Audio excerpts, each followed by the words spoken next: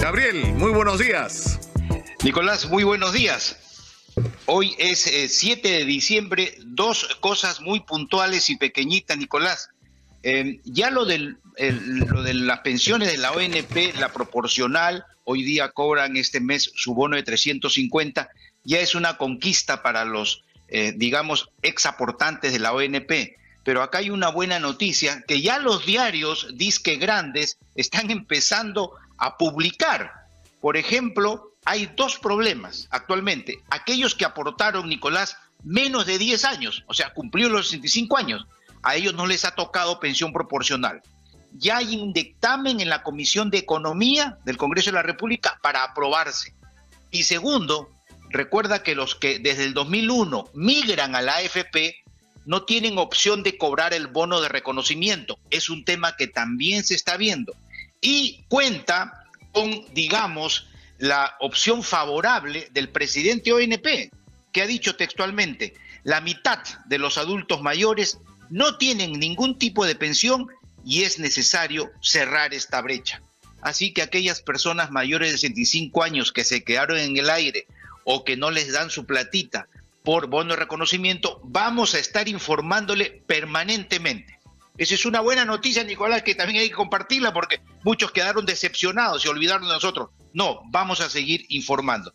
Y lo último, eh, ya es conocido, el domingo lo dijimos en Exitosa, el presidente del BCR, el señor Julio Velarde, dijo con un oficio del 29 de noviembre que no podía eh, eh, comprar las carteras de los deudores financieros porque era una medida anticonstitucional, remató en un oficio de cinco páginas, dice, consideramos que la propuesta de compra de deuda por parte del BCR es inconstitucional, atenta contra su autonomía y tendría efectos muy perjudiciales. Sin embargo, no dijo nada de anticonstitucional cuando soltó a manera de inyección de liquidez a las AFP los 30 mil millones. Pero en uno de los párrafos, Nicolás dice el señor Velarde, en su oficio, dice, la ejecución y financiamiento de la misma le debería corresponder a otra entidad del sector público. Entonces renacen las esperanzas porque el know-how que tiene el señor Velarde, tan experto en estos temas, debería transmitirlo al Ejecutivo para ver si es el MEF, si es la PCM o alguna entidad del Estado que sí puede, según señala él, que sí puede comprar las deudas. Y remato, cifras, papelito manda, como decía, habían 99 mil millones de créditos aprobados en reprogramación, ahora hay 27 mil 700 millones. Entonces Velarde dice al final, si ahora hay un 28% de lo reprogramado, quiere decir que la situación económica está mejorando. Pero igual, esos 27.700 millones son arrugas, son deudas que tienen los peruanos sobre sus espaldas, que a muchos, como sabes, ya les están quitando sus bienes, sus casas, sus motos, sus vehículos. Así que para ellos va dirigido esta compra de cartera.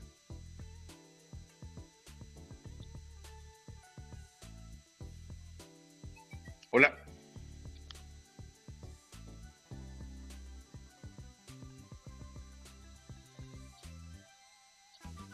Gabriel, ahora sí.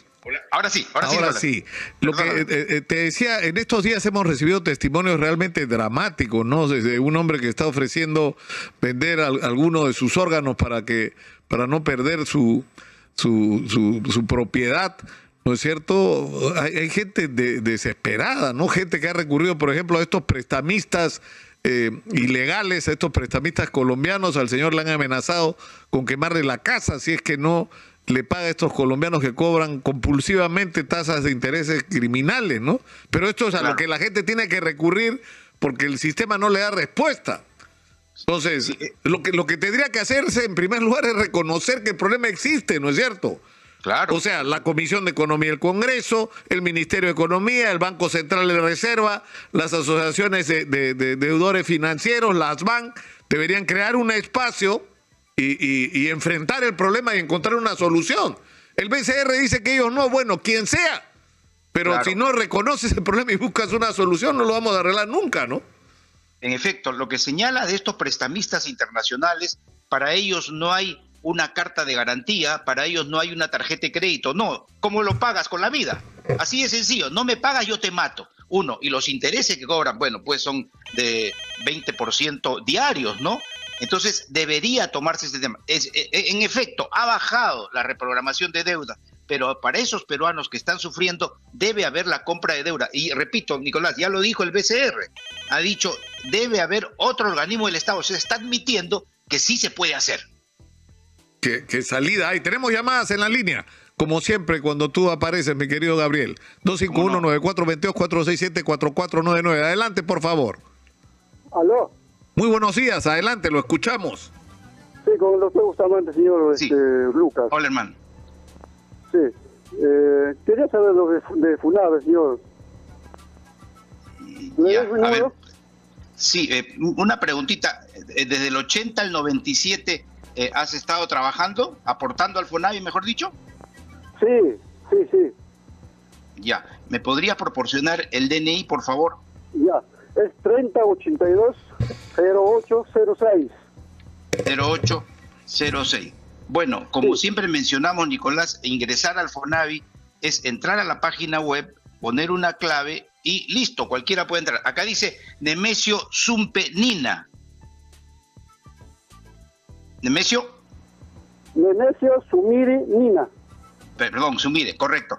Eh, aquí señala Fonavi que ya recibió tu formulario número uno, ¿ya? Ya lo tiene en su poder. Lo que está haciendo ahorita es eh, procesando el registro electrónico y verificando la historia laboral. Pero ya estás inscrito y según la ley 31173, salvo que ellos digan, demuéstrame algún empleador listo para cobrar. Ya, señor. Una consulta más, este doctor. Sí, por favor. Eh, hace unos días he iba a Arquipa, yo soy de Estadio Yendo, iba a Arquipa a la ONP. Y como yo he trabajado este, en empresas, he presentado mis boletos de este, certificados de trabajo. Correcto. No sé, no me han dicho nada, solamente me han, me han recibido y nada más me dijeron que me, que me iba a llamar un asesor de la ONP, pero hasta ahora no me llama. una preguntita, una preguntita, de años de aportación. Ah, ya, muy bien. O sea, tienes más de 65 años y has aportado No, yo tengo 15 ahorita 59. Oh, no, hermano. Te, te faltan 6 años. Con esos 15 años ya tienes 350 soles, pero tienes que cumplir 65 años de edad. Ese es el requisito fundamental para la pensión. Este, cuestión de bono, de, bono de reconocimiento. Yo, Eso es. en desde 1993. Ya, ah, ok. Yo Ahí cambia la cosa. en el 83. Tengo bono de, reconocimiento. Pero la AFP ya te dio tu plata. Sí, me ha devuelto, yo estaba en Integra. Muy bien, entonces... Este, con mis propios medios, no me ha descontado el, el empleador y me devolvió unos 5 mil soles lo que tenía acumulado y nada más.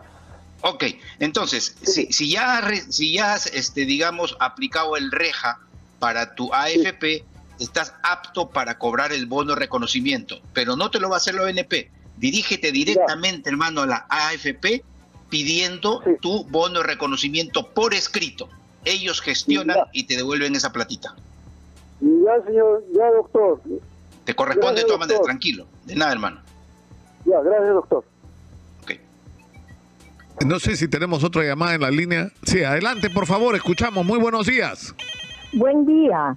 Gracias a Dios que entró. Este, doctor, mire, le voy a dar el DNI de mi mami, ella es viuda. Por favor. Eh, eh, la, la, fonavista, ¿La fonavista era mamá o era papá? Sí, sí, sí. Mi papá era, pero ella como viuda se ha presentado los papeles y ya se presentó el Entonces, necesito el DNI del fonavista, del fallecido. Uy, no lo tengo. Claro, porque si ponemos el DNI... De mi mamá también.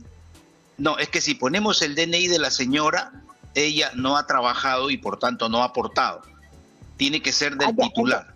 Ya. Ahora. Entonces, ¿puedo darle el número de mi tío? Él es fonavista. Sí, sí, sí.